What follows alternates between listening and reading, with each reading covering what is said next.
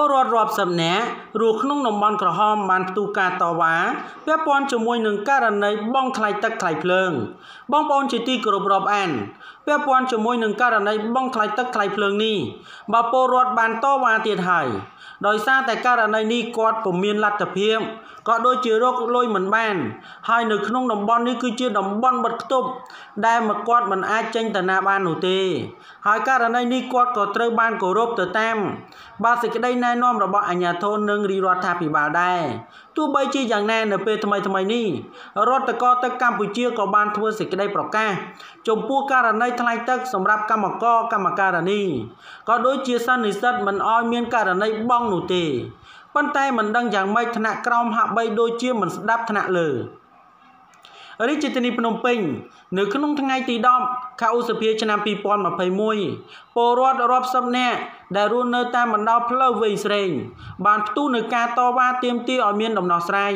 ពាក់ព័ន្ធជាមួយនឹងករណីបង់ថ្លៃទឹកថ្លៃភ្លើង អំឡុងពេលតំបន់ពួកគេ គឺត្រូវបានដាក់ជាតំបន់ក្រហម ធ្វើឲ្យពលរដ្ឋខ្លះបាត់បង់ការងារបាត់បង់ប្រាក់ចំណូល និងខ្លះទៀតបើគ្មានចំណូលសូម្បីតែមួយរៀលសម្រាប់គុតគង់ជីវភាពប្រចាំថ្ងៃដោយការរស់នៅពេលសពថ្ងៃគឺពឹងផ្អែកទៅលើសប្បុរសជនអាជ្ញាធរក៏ដូចជារាជរដ្ឋាភិបាល គួរបញ្ជាក់ផងដែរថាការពីពេលថ្មីថ្មីនេះរដ្ឋាភិបាលរាជធានីភ្នំពេញបានសម្រេចមិនយកថ្លៃបើប្រើប្រាស់ទឹកពីកម្មករនិងសិស្សនិស្សិតស្នាក់នៅបើផ្ទះជួលនិងតំបន់ក្រហម ដែលកំពុងតែមានការបិទគប់រាជធានីភ្នំពេញនិងក្រុងតាខ្មៅ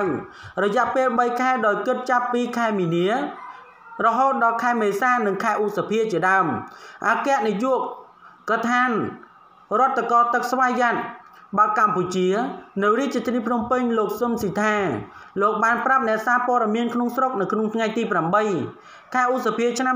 2021ថាការសម្រេចនេះជាការឆ្លើយតបទៅតាមសេចក្តីអំពាវនាវរបស់សម្ដេចនាយករដ្ឋមន្ត្រី កាលពីថ្ងៃទី8ខែឧសភា ដែលស្នើសុំឲ្យរដ្ឋកោទឹកកម្ពុជានិងអគិសនីកម្ពុជាពិនិត្យមើលលទ្ធភាពនៅក្នុងការផ្ដល់ការអនុគ្រោះថ្លៃទឹកថ្លៃភ្លើង សម្រាប់កម្មករនិយោជិក នៅក្នុងតំបន់ក្រហមក៏ដូចជាតំបន់បិទខ្ទប់នៅរាជធានីភ្នំពេញនិងក្រុងតាខ្មៅរដ្ឋកោទឹកស្វយ័តក្រុងភ្នំពេញបានវាយតម្លៃផ្ទះជួលរបស់កម្មករកម្មការិនីនិងសិស្សនិស្សិតនៅរាជធានីភ្នំពេញនិងក្រុងតាខ្មៅ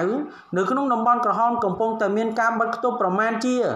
870ផ្ទះជួលនឹងត្រូវបានអនុគ្រោះទាំងសិស្សនិស្សិតក៏ដូចជាប្រជាពលរដ្ឋ ដែលជាកម្មករកម្មការិនីដែលគាត់គ្មានលទ្ធភាពហើយនៅគុកក្នុងការស្រង់នៅតំបន់ផ្ទះជួលទាំងនេះ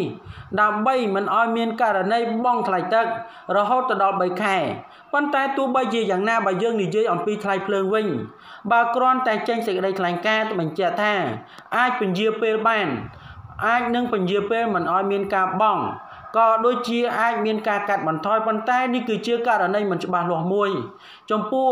បាក់ខាងអគិសនីកម្ពុជា ដែលលោកមិនបានបង្ហាញលិខិតច្បាស់លាស់ដោយរដ្ឋកោទឹកនោះទេ បាទដូចជានៅព័ត៌មាននេះមានប៉ុណ្ណឹង